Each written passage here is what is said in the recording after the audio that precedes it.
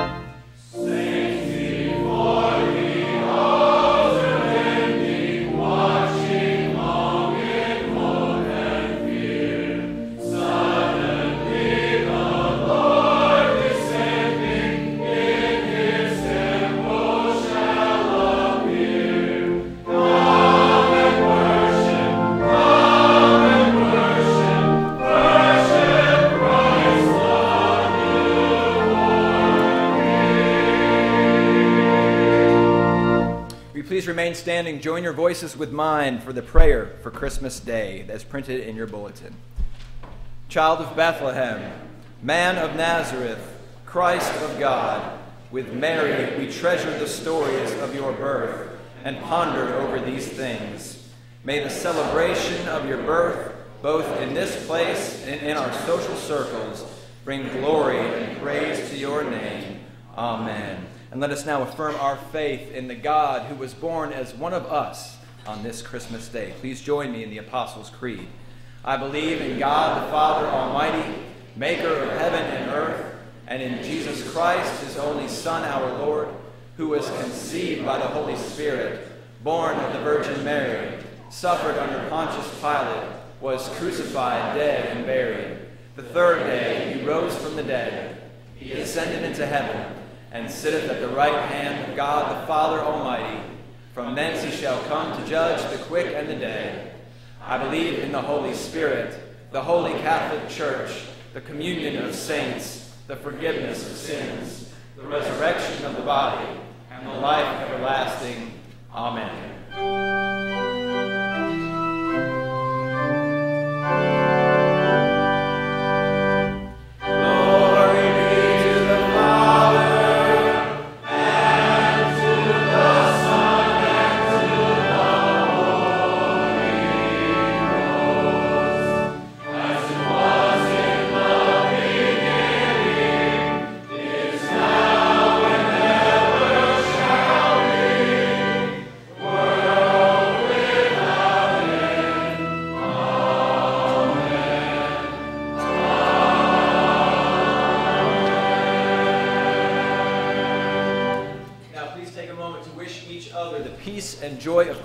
this Christmas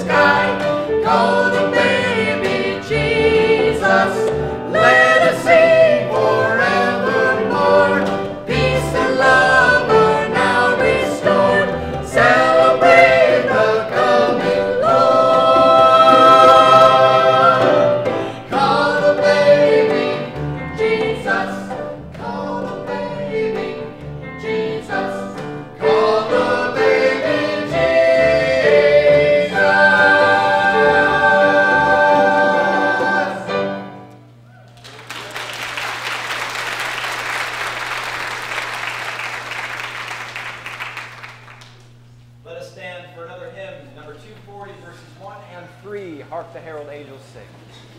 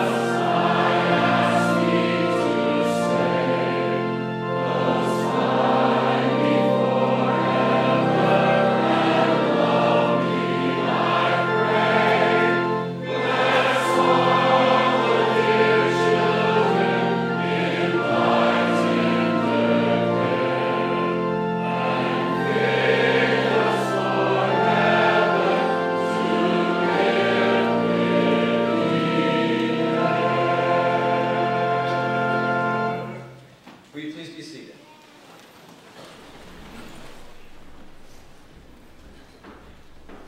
Let us go to God in prayer.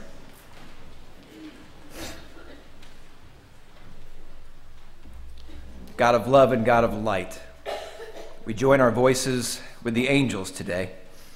We sing glory to our newborn King. We thank you for your ultimate gift, the baby in the manger, no crib for a bed, who is poor, vulnerable, needing to be cared for, and who will later have no place to lay his head. As we make room for him in our hearts and in our lives, give us strength to follow him in his ways, to follow him down the streets where the poor and the downtrodden live, to follow him into the places where the vulnerable and desperate cry out, into the places that are dark, but where his light shines the brightest, and where the darkness cannot put his light out. We thank you that with this birth, God and sinners, you and we are reconciled. That in this newborn child, we see clearly who you are and how you are. That with this child, we are brought light and abundant life and eternal life. That with this child, we are assured of your love and mercy towards us. We thank you, God of love and God of light, for the heaven born Prince of Peace, for the Son of righteousness, for Emmanuel, God with us. We will continue to sing glory to our newborn King, not just today, but every day. We will live for him and we will live like him, and we will pray how he prayed. Our Father, who art in heaven, hallowed be thy name. Thy kingdom come, thy will be done, on earth as it is in heaven. Give us this day our daily bread. Forgive us our trespasses as we forgive those who trespass against us. And lead us not into temptation, but deliver us from evil. For thine is the kingdom, and the power, and the glory forever. Amen.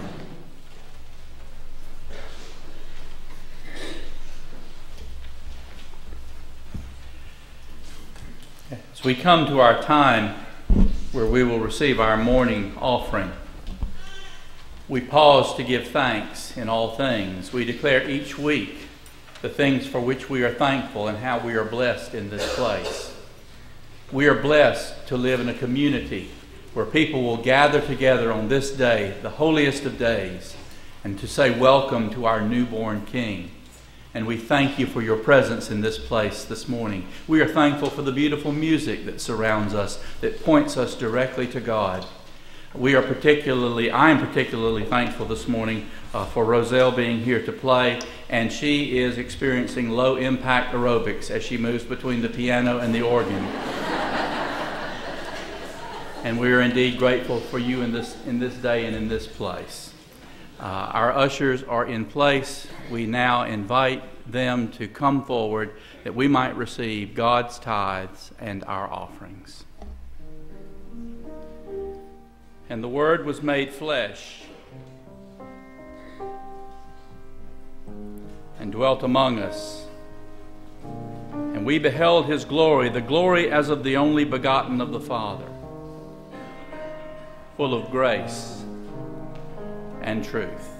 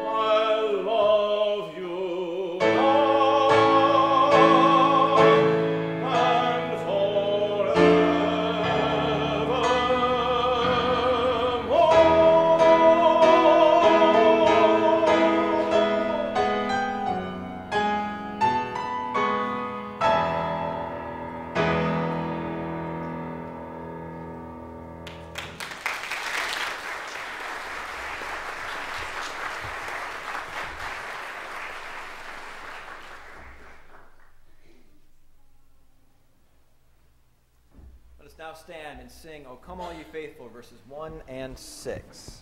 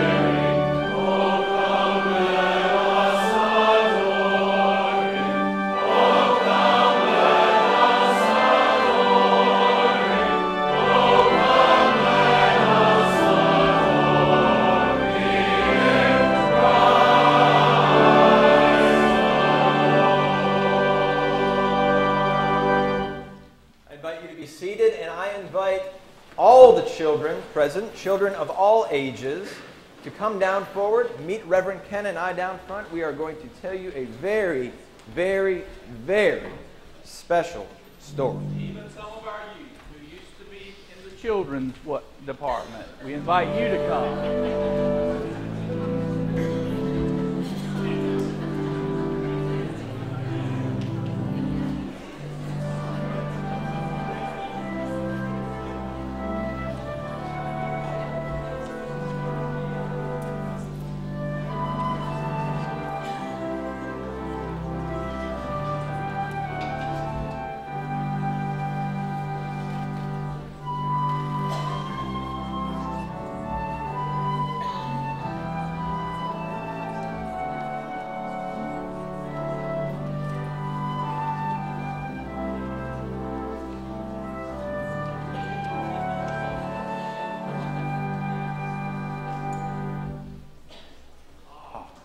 Good morning, everybody.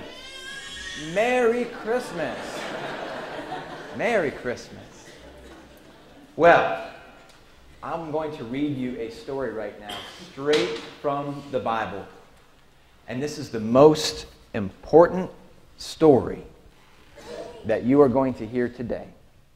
So I want you to pay special attention because this story is the reason why we're all here today. Let's put on our best listening ears. And I want to tell you the story about how Jesus was born. And this is from the Gospel of Luke in the Bible. Now, you probably know some of the story, but I want you to listen real closely. Joseph and Mary were on their way to a little town called, you know what the town was called? Bethlehem. And they had to go there because the emperor wanted to tax people.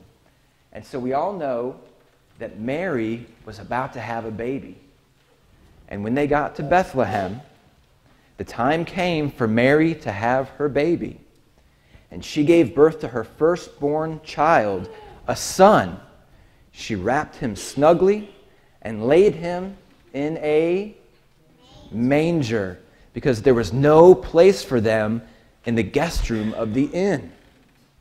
Well, nearby, there were shepherds that were living in the fields and they were guarding their sheep at night. Then the Lord's angel stood before them.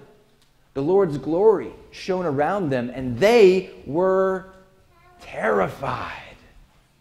The angel said, Don't be afraid. Look, I bring you good news. Wonderful, joyful news for all people. Your Savior is born today in David's city. He is Christ the Lord. This is a sign for you. You will find a newborn baby wrapped snugly and lying in a manger.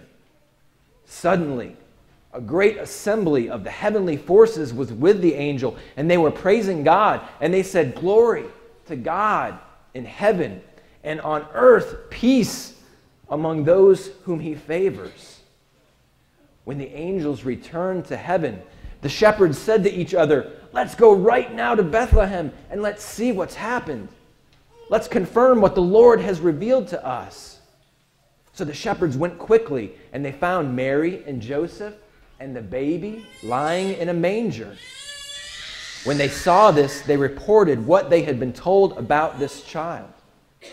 Everyone who heard it was amazed at what the shepherds told them.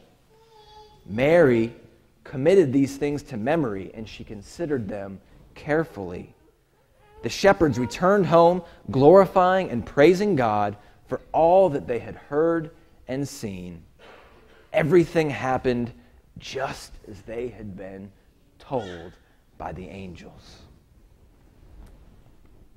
Today is a day of presents and gifts. We receive gifts because God gave us the greatest gift in Jesus. And what I want you to remember about this service today, and what I want you to remember about Christmas every day, is that without Jesus, there would not be a Christmas tree, there would not be Christmas presents, Christmas dinner, Christmas worship. It's all because of Jesus, God's gift to you. And we've, I've been reminded of that all day. When I, when I woke up, Sarah and Cooper are already at Grandma's house in Lane, but there was a present left with my name on it and the instructions to open it on Christmas morning. So I opened it this morning, and inside were pictures, portraits of my mother and my father. What a great gift. My family. Another gift that God has given. God's given you family too to love you. I'm reminded of that today. I, I look at the Christmas trees. Which way do they point? Do they point up? I look at the light on the candle. Which way does it glitter? Up. I look at the cross hanging there in the chancel. It's up. And what today reminds me of is that all of us are to look up because the greatest gift comes from Him the gift of Christ, who gives us the gift of family, who gives us the gift of one another, who promises to be with us and to love us no matter what. There are people in this sanctuary today who are thrilled to be with their family. There are people in this sanctuary today who are celebrating miracles that God has brought to their life this very day. There are persons in here who are celebrating the fact that they are not alone. There are people who celebrate the family that surrounds, and that when they reach out to take someone's hand in this sanctuary today, they can. There's somebody sitting very near to me who's celebrating a new life in his midst, and one of God's great gifts. And again, we're glad she looks like her mother. I'm only teasing you, Jonathan.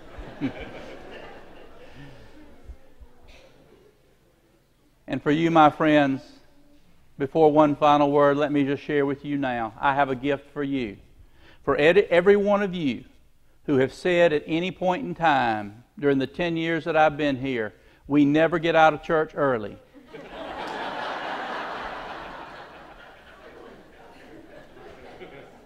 Hang on, Christmas is on the way.